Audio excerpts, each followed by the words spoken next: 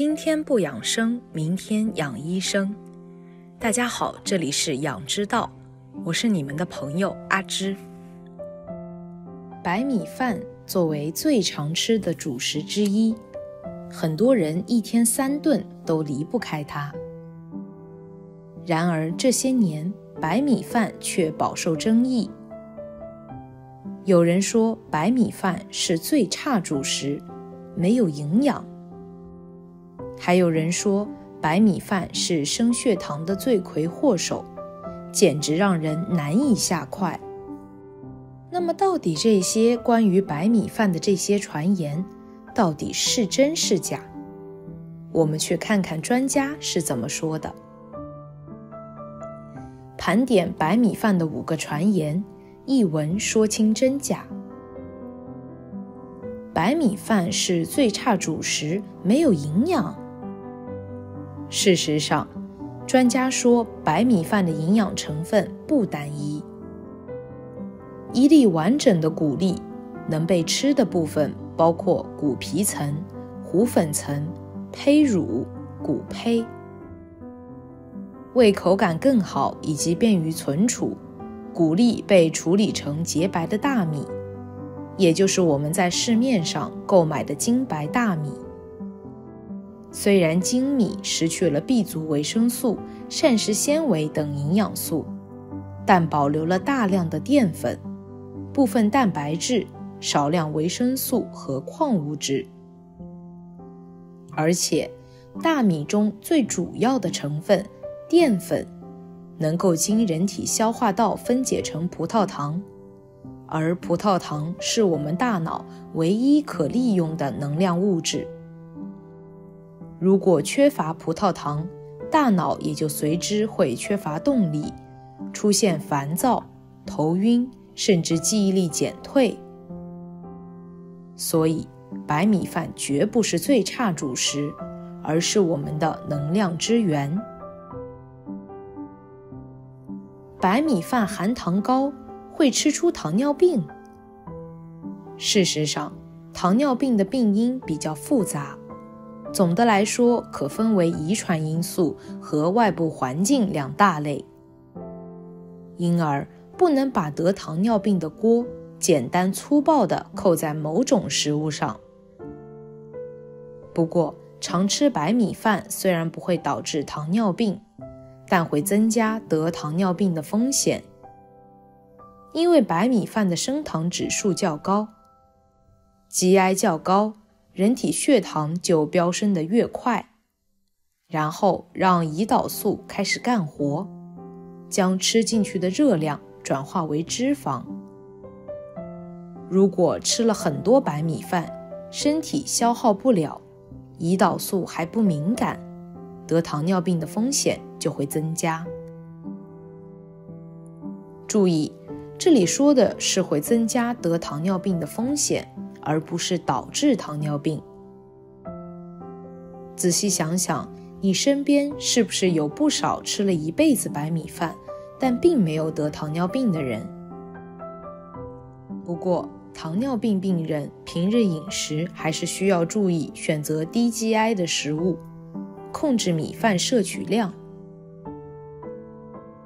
白米饭二次加热会致癌。有传言说白米饭隔夜后会致癌病菌，再次加热也无法把病菌杀死。看到这个传言的时候，有多少人小心脏一颤，想起了那些年用隔夜米饭炒的蛋炒饭？回归正题，事实上，米饭长时间在常温的环境待着。确实可能滋生一些微生物，如芽孢杆菌，但这些细菌并不会致癌。吃了后最严重的结果是拉肚子。所以，隔热米饭致癌，实乃无稽之谈。我们真正该注意的是如何正确的储存米饭。吃了多年蛋炒饭的朋友。你们悬着的心可以落下了。存储米饭小建议：剩余的米饭在常温下降温一小时后，用保鲜盒装好或密封袋，放入冰箱冷藏，储存时间别超过一天。对了，吃之前最好闻一闻，如果没有异味和发霉的现象，就可以放心吃。吃冷冻过的白米饭可以减肥降血糖。由于白米饭升糖指数较高。很多减肥人士、高血糖患者对于米饭都是敬而远之。但馋啊，从小吃到大的米饭，少吃一顿都难受。于是，不少人想了个办法，把米饭放凉或放冰箱冻一会儿再吃，据说升糖速度会变慢。你还别说，这确实有点道理。米饭放凉之后，会产生一种叫抗性淀粉的物质。抗性淀粉在人体内不容易分解，人吃下去后消化也就比较慢，升高血糖的速度自然就慢了。也因此，有很多人说抗性淀粉具有平稳血糖、通便、减肥等作用。然而，理想很丰满。现实很骨感。米饭放凉后，虽然会产生抗性淀粉，但产生的量很少，甚至可以忽略不计。而且，对于老年人等消化吸收功能比较弱的人来说，吃凉米饭很容易让胃肠更不舒服。还要提醒一句：刚煮好的米饭在室温放凉，时间久了。也很容易被细菌污染，尤其是天气热的时候。土豆不能配米饭一起吃，最好不要一起吃，因为会长胖啊。很多人喜欢把土豆当菜，但人家其实是种主食。当大米煮成饭后，每一百克米饭。含碳水化合物二十五点六克，而一百克土豆含十七点二克。土豆的碳水化合物含量都快赶上白米饭了，所以如果你用土豆配饭吃，就相当于吃下两份主食，想不胖都难。当然，如果你实在喜欢这么吃，记得少吃半碗饭。再搭配些蔬菜和荤菜，这样才能保证营养均衡。说了这么多，估计还有不少人对白米饭有疑虑。接下来就给大家支几招。白米饭这样吃更营养健康。一加点料，煮米饭时可以加点粗粮杂豆，如糙米、黑米。绿豆、红豆、豌豆等，对控制血糖有帮助。这样的粗细搭配对于肠胃也比较好。不建议把主食全都换成粗粮，因为膳食纤维摄入过多，反而会造成便秘、腹胀的现象，还会抑制钙、铁、锌等营养素的吸收。二。不要煮太烂太软，米饭煮得过于软烂，消化速度和餐后血糖反应也会明显上升。三，少吃炒饭，炒饭虽香，但其中的油和盐都不少，热量很高，吃多了对健康不利。四，最好当天吃完，减少反复加热。米饭多次加热后，往往会变得更烂、更软，很容易消化，餐后的血糖反应也更高。不过，除了米饭以外，专家建议以下这四种食物也不要加热食用：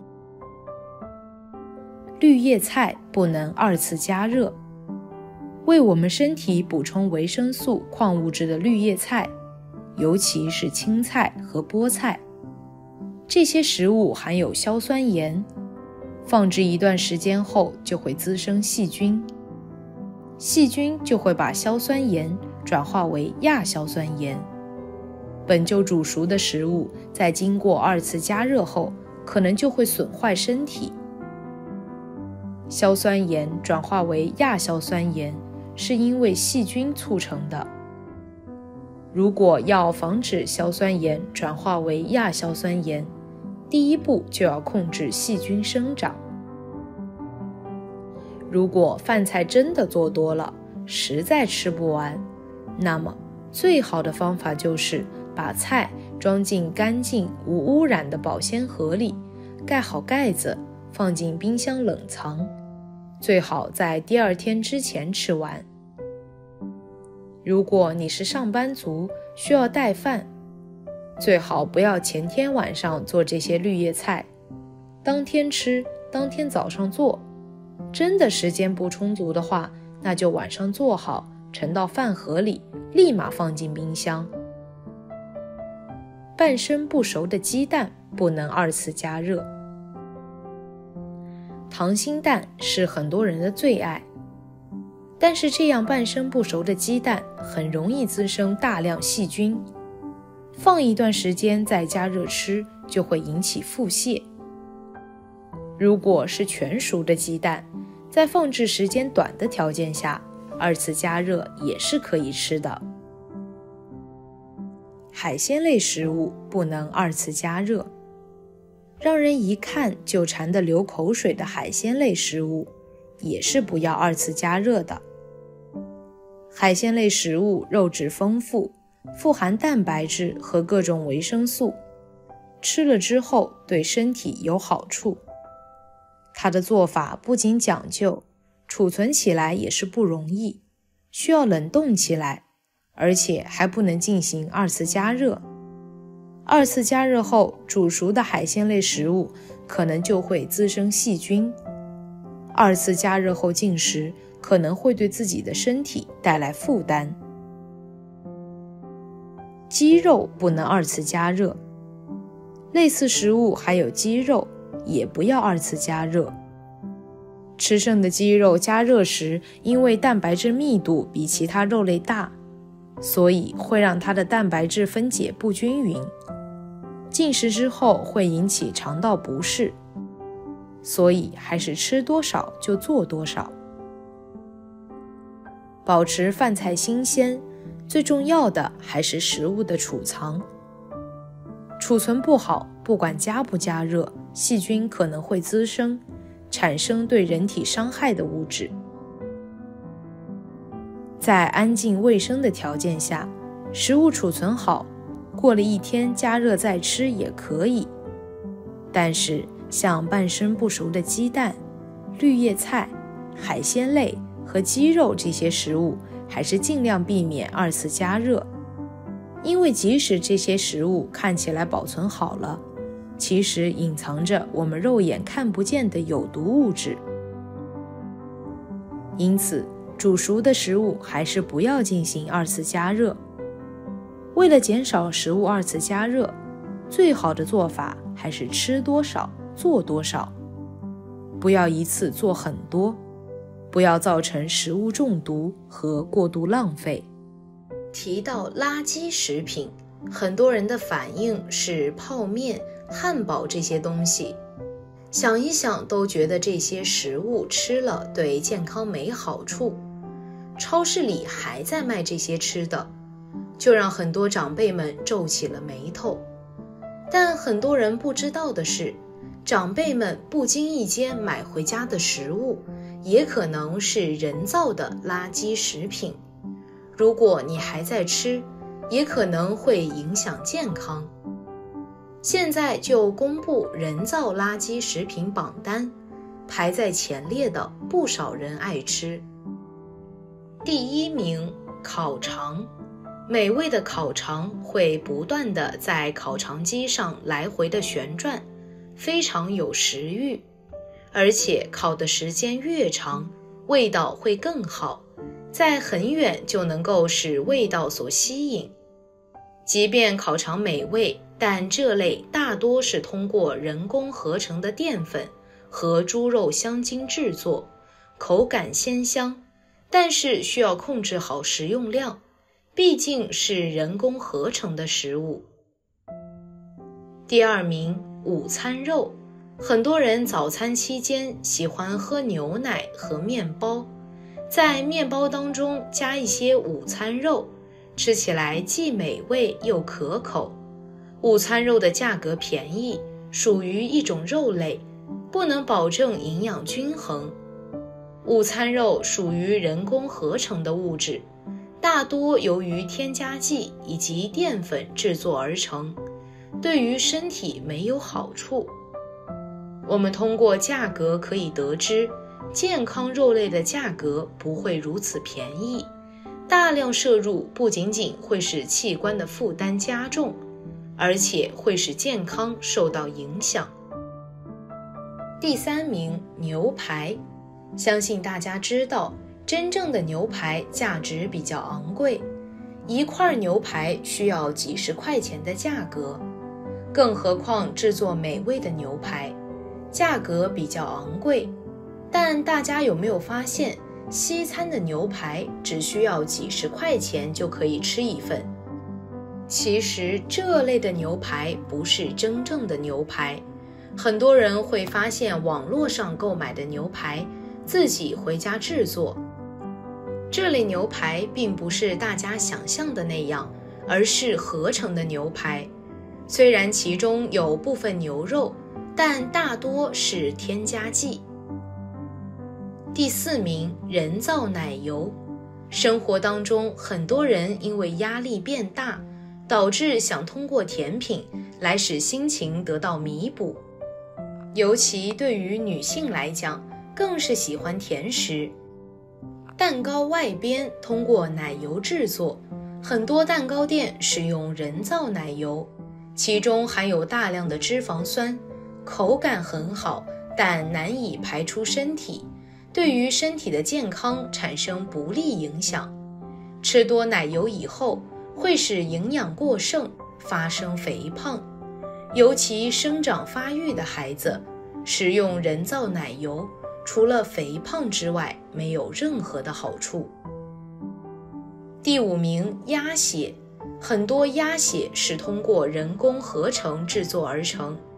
大家辨别鸭血的时候，可以看一下鸭血的颜色，比较暗，弹性很差。说明是真的鸭血。如果鸭血的颜色非常鲜亮，而且弹性很大，不容易捏碎，属于人工合成的鸭血。在超市里买到的鸭血大多是熟鸭血，颜色深红，并且里面可能有一些小气泡。但是人造鸭血往往是质地光滑，里面没有明显的气泡。这种鸭血煮熟后可能变成灰白色，并且比较有韧性，筷子很难夹断。相比于真正的鸭血，假鸭血使用的可能是牛血、猪血，但人造鸭血问题最大的地方还是在于，在这些血制品中加入了明胶或者胭脂红等物质。也可能在食用后对健康不利，所以大家一定要引起重视，不要食用这类的鸭血。第六名，果冻，很多小朋友比较喜欢吃果冻，果冻看起来很诱人，吃起来口感很好，但这些果冻属于糖和水等添加剂制作。之所以觉得果冻有嚼劲儿，是因为其中含有很多的人工明胶，这类的食物难以消化，对健康有伤害，所以尽量不要给正在成长期的孩子食用果冻，抵抗力低的老年人也不要食用。第七名，各种丸子，撒尿牛丸、鱼虾丸、香菇鱼丸。紫薯球等这些丸子深受大家的喜欢，吃起来方便，味道鲜美，放进锅中煮熟即可食用。可是丸子当中的营养却很少，大多是用盐和淀粉制作，真正的肉很少。如果大量食用，对肠胃的负担很大。第八名，蟹柳，相信大家吃火锅的时候会吃蟹柳，味道非常鲜美可口，能够满足大家的味蕾。虽然这类的味道很好，但对身体健康有不利的影响，建议大家在日常少吃蟹棒。因为其中含有大量的添加剂以及防腐剂，其中不含任何的蟹肉成分，长期食用会使身体的健康带来隐患，使病情加重。第九名，人造肥牛卷、肥羊卷。到了年节的时候，涮火锅必备的就是肥羊卷、肥牛卷，在锅里涮几下。放进蘸料中，香气扑鼻。但你知道吗？不少价格比较低的肥牛卷、肥羊卷都是假的，人造肉卷。人们可以观察一下自己买回来的肉卷，如果发现里面的瘦肉和肥肉是分开的，分界线很清晰，并且用手一拽就会散，很可能是人工合成的假肥牛卷。还可以看看肥羊卷的包装上是否出现了卡拉胶、二基酶等添加剂，能够将一些碎肉和不知道是什么的东西粘合在一起，然后挤压后切成片，伪装成肥羊卷、肥牛卷。第十名，海蜇丝。过节的时候，不少人会买一些海蜇丝作为凉菜。凉拌一下很好吃，但真正的海蜇丝应该是颜色微黄，带有一些海腥味儿，并且肉质比较脆，也不会裂开，吃起来是比较有嚼劲儿的。而一些人造的海蜇丝，整体颜色几乎是透明的白色，粗细相对均匀，并且呈现出长条状。这种人造的假海蜇丝大多是用明矾制作而成的，还有较多的海藻酸钠，这些物质都可能影响人体对钙、铁的吸收，更容易造成骨质疏松和贫血等问题。第十名，红薯粉丝。目前，红薯粉丝大多出现在火锅和麻辣烫中。软糯 Q 弹的口感受到了大多数年轻人的喜爱。正因为如此，红薯粉丝的价格在近年来也是逐渐上涨。但是，并不是所有的红薯粉丝都是红薯粉制作而成的，其真正的原材料是淀粉、面粉、爽身粉等。这些原材料对人体肠胃健康的危害是非常大的，经常食用的话，很容易导致消化不良，影响肠胃健康。所以在购买红薯粉丝的时候，一定要确保其原材料是红薯粉。身体的健康与日常饮食息息相关。现如今市面上很多食品都是人工合成的，食用太多的话，对身体健康十分有害。所以在平时购买食物的时候，一定要慎重选择，从而为自己的身体健康保驾护航。好了，以上就是今天的全部内容。如果你也喜欢这个视频，并且让你深有感触，可以分享给身边的人哦。那我们下期节目再见。